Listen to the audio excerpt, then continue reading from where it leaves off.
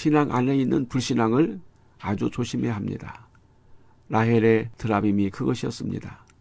라헬은 그의 남편 야곱이 20년을 어떻게 살았는지 하나님이 어떻게 그를 라반에게서 지키고 보호하시고 보상하셨는지 잘 안다고 고백을 했습니다. 하나님이 함께 하심으로 야곱이 20년간 라반에게서 해를 당하지 않고 당당히 가족과 재물을 얻을 수 있었다고 라헬이 아멘으로 화답했습니다. 그런데 그러한 라헬이 자기 아버지의 가신인 드라빔을 훔쳐가지고 나왔습니다.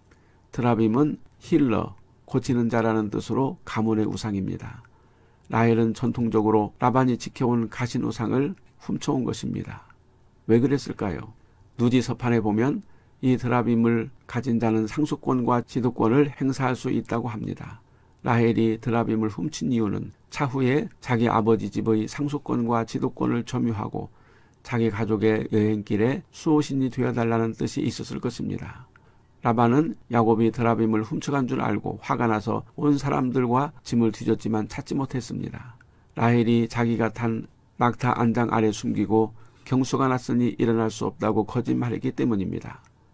야곱은 라반이 자기를 도둑 취급했을 때 만일 누구에게서든지 드라빔이 발견되면 그는 살지 못할 것이고 무엇이든지 도적질한 것이 있다면 가져가도 좋다고 장담을 했습니다.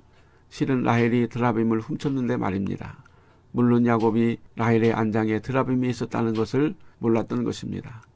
라헬의 속임수로 야곱은 라반의 추궁을 면했지만 라헬의 드라빔 때문에 야곱의 딸 디나가 세겜에서 강간을 당하고 라헬이 베냐민을 낳다가 길에서 죽었습니다. 물론 라헬의 죽음이 꼭 드라빔 때문이라고 콕 집어서 말을 할 수는 없지만 야곱의 장담과 라헬의 드라빔이 묘하게 일치가 됩니다.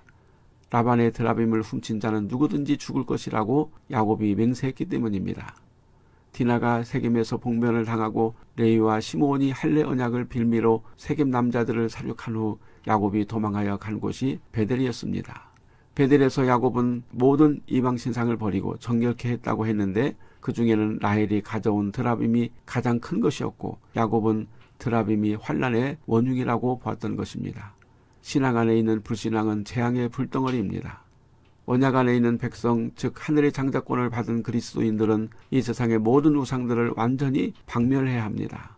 하나님의 백성이 하나님이 아닌 다른 신이나 우상을 의지한다는 것은 하나님의 진노를 불러오는 것이나 마찬가지입니다. 그래서 하나님은 이스라엘 백성들이 가난 땅에 들어가면 가난 칠족을 멸하고 모든 우상을 다 멸하라고 명령하신 것입니다. 만약 하나님의 백성이 우상을 허용하는 순간에 그 우상이 근무치든지 권력이든지 명예든지 무엇이든지 그 우상으로 인해서 하나님의 진노를 일으키고 화를 당할 것이기 때문입니다.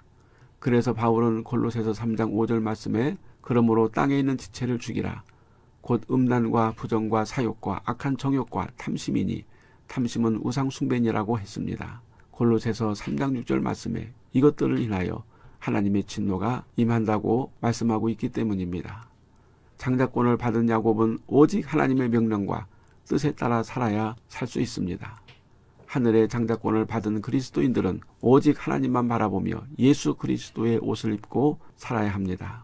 하늘의 장자권을 받은 하나님의 자녀들은 하나님 없이 예수님 없이는 결코 살 수 없는 그러한 사람들입니다.